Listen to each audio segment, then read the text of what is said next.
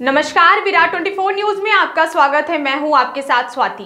एक बार फिर हाजिर हूँ रीवा जनपद पंचायत में, जारी भ्रष्टाचार और वसूली के साथ साथ बाहरी व्यक्तियों को महत्वपूर्ण सौंपी गई जवाबदारी की खबर को लेकर।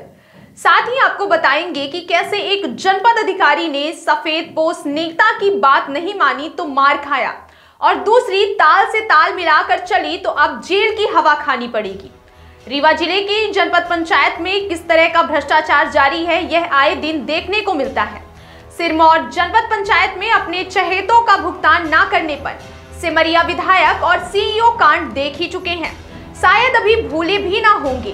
ताज़ा मामला जनपद पंचायत रीवा में सामने आया है, जहाँ अपने ही कर्मचारी से रिश्वत लेते रिश्वतखोर सीईओ विजय लक्ष्मी मरावी और लेखा अधिकारी रामचंद वर्मा पकड़े गए।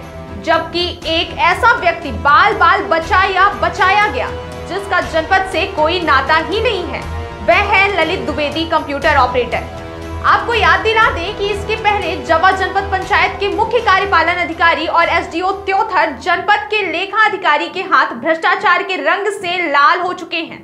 दरअसल ज़िले में भ्रष्टाचार का खेल सफ़ेद पोसों की सह पर खेला जा रहा है। जनपद पंचायत रीवा की बात करें तो यहाँ इसका भ्रष्टाचार से गहरा नाता है। अगर जनपद पंचायत रीवा में विगत 10 वर्षों के आय व्यय खर्च की विधिवत जाँच की जाए तो करोड़ों का पर्दाफाश हो सकता है।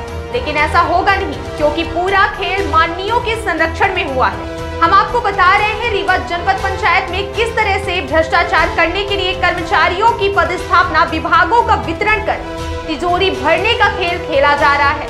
दरअसल रीवा जनपद पंचायत में विजय उपाध्याय एवं ललित द्विवेदी को कंप्यूटर ऑपरेटर के पद पर नियुक्त किया गया है, जो एक विधायक के खास बताए जाते हैं, जो विगत पाँच वर्षों से महत्वपूर्ण जवाबदारियों का निर्वहन कर रहे हैं। इनकी नियुक्ति उस समय की गई थी जब कंप्यूटर के बारे में जानने वाले लिपिक जनपद पंचायत में नहीं थे।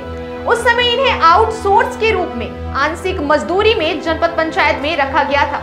इन्हें हटाने का आदेश शासन के पत्र क्रमांक नब्बे पचपन दिनांक 20 मई 2019 को जारी हो चुका है क्योंकि जनपद पंचायत में पदस्थ कर्मचारी कंप्यूटर में दक्षता हासिल कर चुके हैं और अनुकंपा नियुक्ति में भी ऐसे कर्मचारियों की नियुक्ति हो चुकी है जो कंप्यूटर ज्ञान रखते हैं। आप सोच रहे होंगे कि जब जनपद पंचायत के कर्मचारी कंप्यूटर में दक्ष हैं, तो उनसे कार्य क्यों नहीं लिया जा रहा है? और इन्हीं दोनों कर्मचारियों को महत्वपूर्ण जवाबदारी क्यों सौंपी गई है? दरअसल इन कर्मचारियों को चर्चित विधायक का वर्दहस्त प्राप्त है और उनके करीबी हैं। जनपद में इन दोनों के बिना एक पत्ता नहीं हिलता। अगर यह कहें कि जनपद यही दोनों व्यक्तियों के द्वारा चलाया जा रहा है तो कोई अति संयोक्ति नहीं होगी।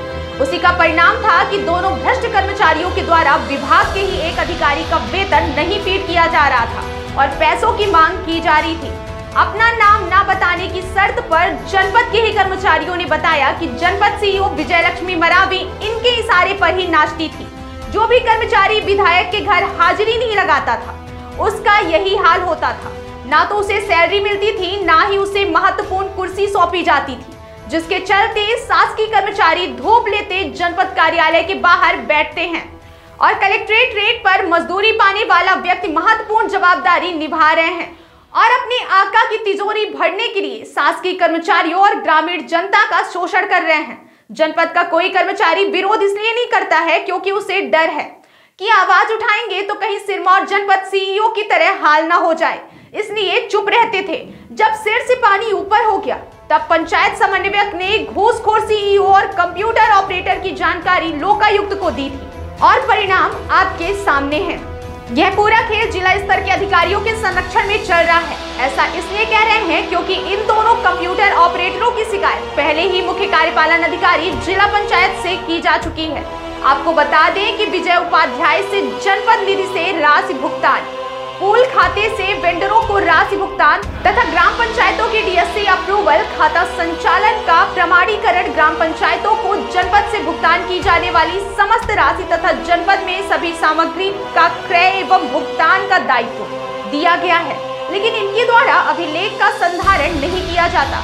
हद तो यह है कि सीईओ जनपद एवं लेखपाल महेंद्र वर्मा की डीएससी भी इन्हीं के अभिरक्षा में रहती है।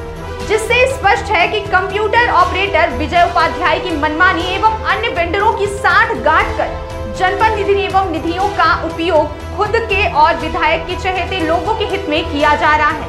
वहीं अगर बात करें ललित द्विवेदी कंप्यूटर ऑपरेटर की तो उन्हें कोषालय के लेखा का कार्य दिया गया है। इनके द्वारा जनपद में पदस्थ अधिकारी, कर्मचारियों तथा सचिवों का वेतन मनमानी तौर पर जब इच्छा होती है, निकाली जाती है। जिनसे नाराज़ होते हैं, उनकी वेतन रोक दी जाती है। बगैर पैसा लिए वेतन एवं अन्य भुगतान नहीं किया जाता। इनके प्रभार में सामाजिक सुरक्षा, पेंशन योजना भी है। जिसमें कतिपय निराश्रितों का कोई न कोई गड़बड़ी कंप्यूटर से की जाने पर हितग्राहियों को पेंशन का भुगतान नहीं हो पाता है और हितग्राही भटकते रहते हैं। लोक सेवा केंद्र से प्राप्त पेंशन के प्रकरणों में जिसमें पैसा मिल जाता है, उन हितग्राहियों की पेंशन स्वीकृत की जाती है। शेष की निरस्त कर दी जाती है। राष्ट्रीय परिवार सहायता योजना में भी इन्हीं के प्रभार में जनपद क्षेत्र में कितने आवेदन प्राप्त हुए, कितने स्वीकृत हुए तथा कितने अपात्र हुए कोई जानकारी नहीं रहती है। जो हितग्राही इनके पास पहुँचा और उनकी सेवा कर दी तो उनकी राशि स्वीकृत हो जाती है। दोनों ऑपरेटरों के पास सभी योजनाओं के वित्तीय मामलों की आईडी एवं पासवर्ड तथा डीएससी इनके अंदर में रहती है। जो सरासर गलत है। अगर उपरोक्त सभी बिंदुओं की जाँच कराई जाए तो बहुत बड़े घोटाले का खुलासा हो सकता है। लेकिन ऐसा लगता नहीं है कि सफ़ेद पोसों के संरक्षण में फल फूल रहे दोनों भ्रष्टाचारियों पर कोई कार्यवाही होगी। एक को लोकायुक्त पुलिस ने पकड़ा भी, लेकिन बताया जाता है कि आरोपी नहीं बनाया गया है।